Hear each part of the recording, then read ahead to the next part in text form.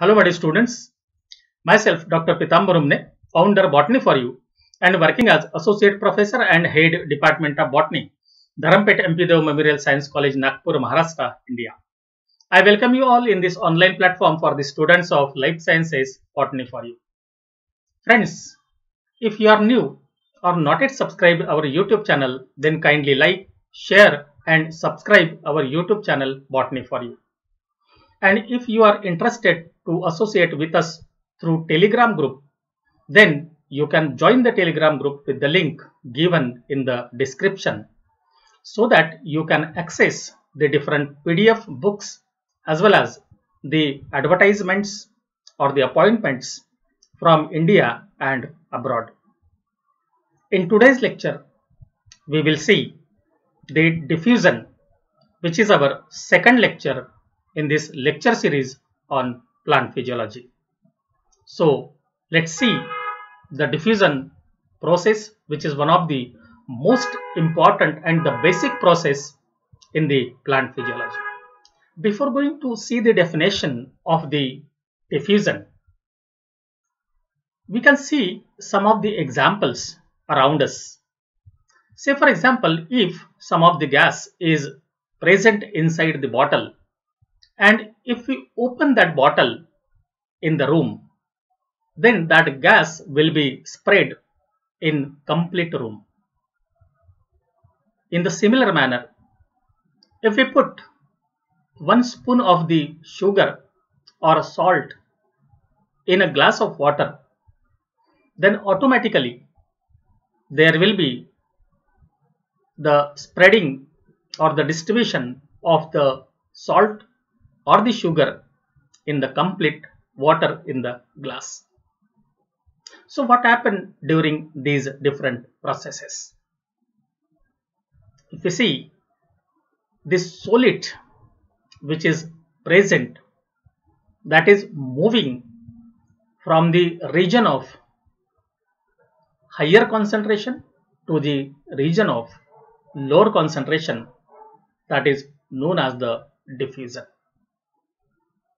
means we can say the transport of solid particles this is very important whenever we are talking about the diffusion that transport of solid particles from the region of higher concentration to the region of lower concentration. If you see this diagram, you will find that these are the solid particles and their concentration is present high outside the cell and because of that these particles are diffusing inside the cell. So this diffusion will be carried out till the concentration achieve the similarness to the outer side as well as the inside and that is known as the equilibrium. So because of such a type of the transport of different solid particles from outside to inside the plant body or from one cell to another cell it is very important to know the diffusion. Once again I am going to repeat the definition that transport of solid particles from the region of higher concentration to the region of lower concentration that is known as the diffusion. If you see this another example that is liquid to liquid, this is an indigo and here in the glass there is a water. So here there is a presence of higher concentration of the indigo but later on it start to spread all over the glass and later on it spread completely. So this is because of what? Because there is a presence of the certain free energy in the solid particles and which is responsible for the diffusion of these particles or the solid particles of the indigo all over the water body. Some other example we can take that here it is very common process in our houses that is agarbatti or dhoop we are lighting. And if you see this smoke you know this smoke is spreading completely in the room. So this is again the simple process of the diffusion. And earlier I told you if we put the certain sugar or the salt in the water then also there is a complete diffusion of the solid particles and in this way from the region of higher concentration to the region of lower concentration there is a transport of the solid particle and this movement is carried out till it reach the equilibrium. When they will be evenly distributed, there is no need of the movement of the solid particles. If you see the diffusion, then the process of the diffusion is depend upon the certain factors. Number one, that is the rate of the diffusion pressure gradient is steeper means if say for example there is a movement of the particles from the region of higher concentration to the region of lower concentration and if this diffusion pressure gradient is steeper then there will be the high rate or the rate of the diffusion will automatically increase then the temperature is increased. You know very well if you can take a one spoon of the sugar in one glass of the water. And keep it as it is that is in a cold water. And take another glass containing the hot water. And also containing one spoon of the sugar. You will find that the diffusion of the sugar molecules that is the solid will be faster in the hot. It indicates that if the temperature is increased, the rate of the diffusion increases. Then again the density of the diffusing particle is lesser. If you see the density of the diffusing particles that is solid, if it is less then the diffusion will increase and if the density is higher then the rate of the diffusion will decrease. Hence we can say that the diffusion pressure will be more if the density of the particle is lesser. Then next one that is the medium through which diffusion occur is less concentrated. Say for example if we have one glass of the water and if it contain the 2 spoon of the sugar already and if we take the another glass which contain the 1 spoon of the sugar it means that here the concentration will be the higher and here the concentration will be the lower. In such a cases, the diffusion will be higher in the solution where it is less concentrated.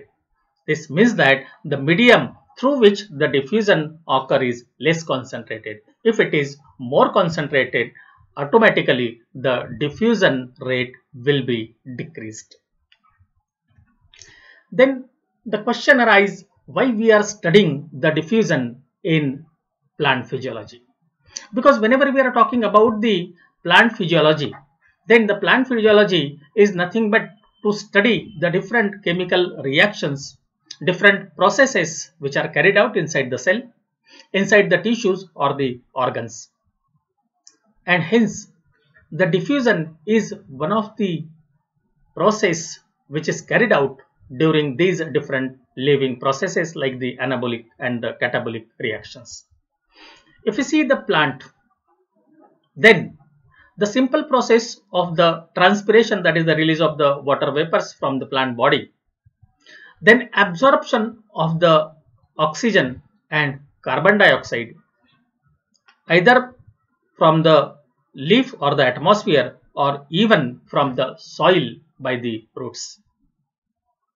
In addition to that, again, there is a synthesis of the food material by the process of photosynthesis and again it is provided to each and every part of the body.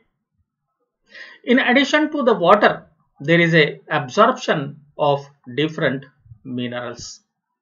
So all these things are related to that of the diffusion. If we see the simple absorption of the minerals, that is nothing but the process of the diffusion.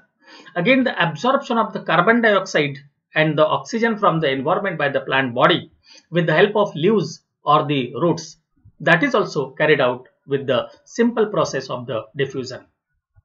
Even when in the transpiration the water vapors are released, that is also through the diffusion and hence there is necessity to study the diffusion in the plant physiology.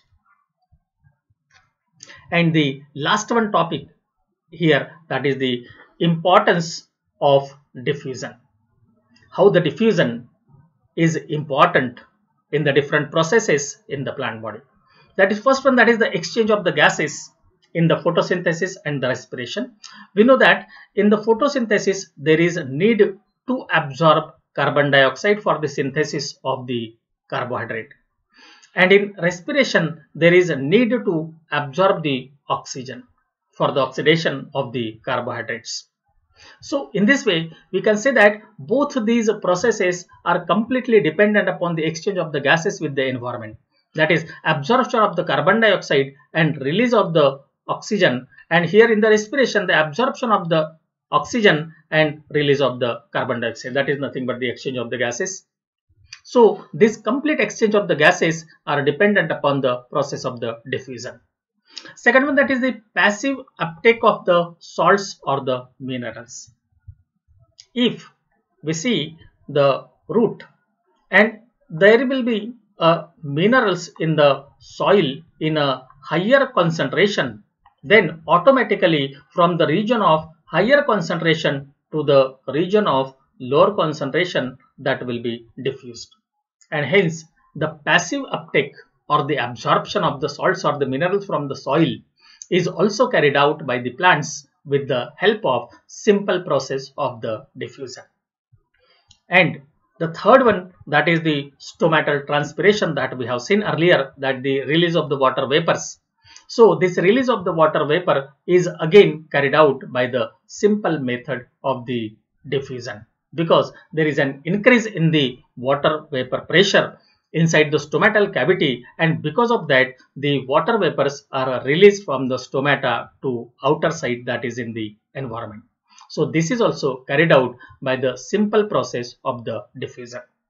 So friends, I am very much hopeful and confident that this lecture will be helpful to you in understanding the simple method of the diffusion and how the diffusion is helpful to understand the different processes in the plant body.